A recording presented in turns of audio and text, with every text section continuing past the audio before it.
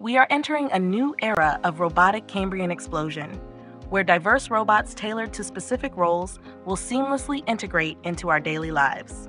However, designing robots presents unique challenges.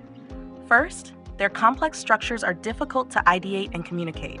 Moreover, evaluating their services early in development is almost impossible. As a result, user experience assessments are often delayed until the final stages, increasing the risks and costs of errors. We introduce immersive prototyping for robot design, where robot designers begin by recording videos of the real world. 3D Gaussian splatting turns these videos into photorealistic representations of environments and props. Next, designers create robot shapes and structures using 3D sketching and rig their joints with intuitive pen and multi-touch gestures. By designing robots directly within a reconstructed workspace, designers can ensure that the robots are contextually appropriate. Designers then immerse themselves in VR, role playing with robots and virtual props to body storm human robot interaction scenarios. One designer invisibly grabs and puppets a robot, while another experiences the service from the receiving end.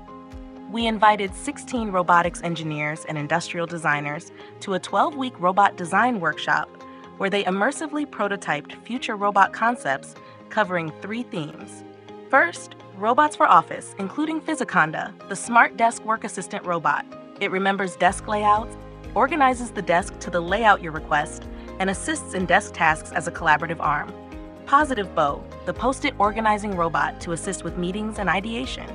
ConnectTree, the elegant robot to facilitate professional networking.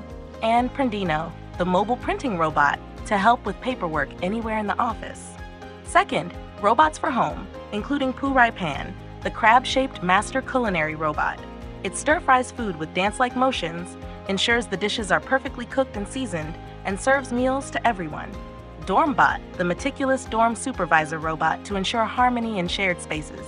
Alpacop, the heartwarming security robot to safeguard apartments. And Accor Drone, the smart flying robot to manage small space hobby gardens. Third, robots for community, including Marcat, the vibrant market promoter robot. It hands out product samples to entice visitors, guides shoppers through bustling markets, and promptly delivers ordered goods. Cheerbeer, the enthusiastic robot to energize sports events. PenGuard, the vigilant robot to look after schoolchildren outside the home. And Silbotown, the transforming robot to assist with mobility for the elderly.